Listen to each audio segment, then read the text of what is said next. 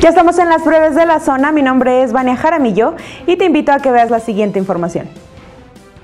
Sin mayores detalles, el gobernador de Guanajuato, Diego Sino Rodríguez Vallejo, reveló que la llamada que recibió José Gutiérrez, integrante de Sembrando Comunidad, fue de un familiar de desaparecidos. A casi una semana de la denuncia que hizo el activista sobre una presunta amenaza que sufrió, el mandatario señaló que la Fiscalía General del Estado dará los detalles. Hoy, el activista dio una rueda de prensa en compañía de las senadoras de Morena, Marta Lucía Micher Camarena y Antares Vázquez, quienes denunciaron al gobierno del Estado y a la Fiscalía General de acosar a los defensores de los derechos humanos. Y ahí José Gutiérrez pidió una reunión con el mandatario y otros senadores de Guanajuato para dar seguimiento a los acuerdos.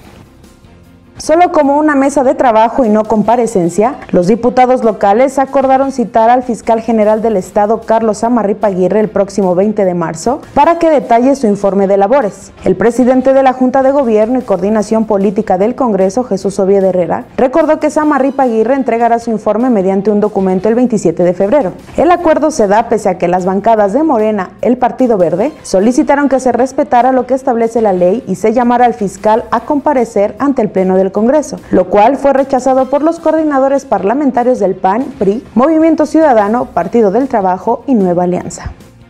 Uno de los grandes ausentes para el Club León en el duelo de vuelta ante Los Ángeles será el ecuatoriano Ángel Mena, quien no realizó el viaje a California debido a una lesión y se quedará en León preparando el siguiente partido de liga que será ante las Chivas Rayadas del Guadalajara. Aunque no se ofrecieron más detalles sobre el golpe que tiene el goleador, la directiva a través de su departamento de prensa confirmó que el jugador no viajó de último momento y ayer estuvo ausente durante la práctica. En estos momentos, Mena es el líder de goleo del torneo local con cinco anotaciones y es uno de jugadores más importantes que tiene el cuadro Esmeralda.